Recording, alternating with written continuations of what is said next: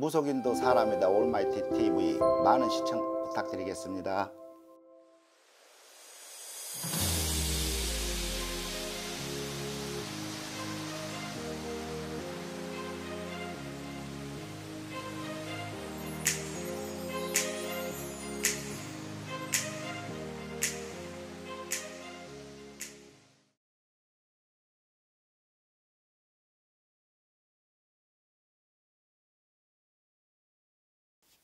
안녕하십니까. 저는 전라남도 여수의 소원사 근암이라고 합니다.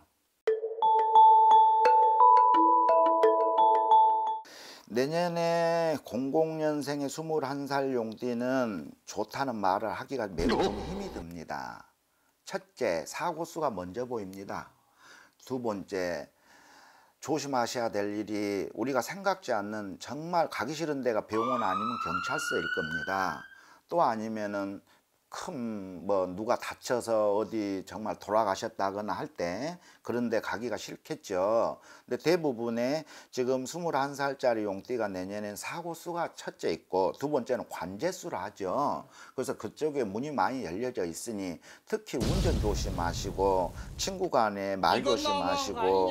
어떤 남의 싸움에 끼어들지 말으셔야지 그쪽에 같이 속해 있다 보면은 생각도 안 했던 경찰서를 가게 되고 그래도 또 법적인 데서 부르게 되어 있고 하여 내년에는 많이 조심해야 되는 게 특히 용띠의 21살입니다. 예. 88년 용띠를 볼 적에 33살이 되겠지요. 매우 올해 들어서 지금까지 살아온 인생 중 매우 참 좋구나 하는 말을 들을 수 있습니다. 그래서 결혼을 해도 좋은 시기고요. 또 하나 어떤 사업을 하거나 어떤 이직을 하나 뭐 어떤 것이 되었든 내년에는 많이 열려져 있는 운으로서 이분은 내년에 있어서 매우 좋습니다. 그냥 한마디로 굿이죠. 예예 매우 좋습니다. 76년생 45살이 되겠죠. 이분도 음, 좀 좋은 쪽에 속해 있는데요. 특히 어떤 쪽이가 좀 좋은 쪽에 속해 있느냐 하면 작년에 많이 금전이 나갔을 걸로 보여져요. 사업에 좀 힘들었고 금전도 좀 나가고 인간의 아픔 이런 일들이 좀 많이 있는데 올해는 그런 것들이 조금 정리가 되는 해. 조금씩 하나씩 하나씩 정리가 되어서 머리 아픈 것이 조금 나아지는 격 그래서 좀 좋은 쪽으로가 많이 돌아서고 있고요 특히 음력으로 5월이 되고 보면 5월이 되고 보면은 이분이 음, 5월을 잘 넘겼구나 하고 보면은 하는 일들이 그래도 점차 좀 빠른 속도로 좋은 쪽으로 온다는 걸 좀 직감할 수 있고요.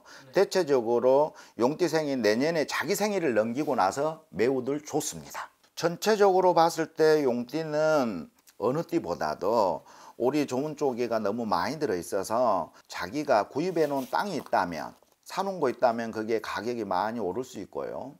또 펀드를 하셨다면은 그게 많이 주가가 오를 수 있고요.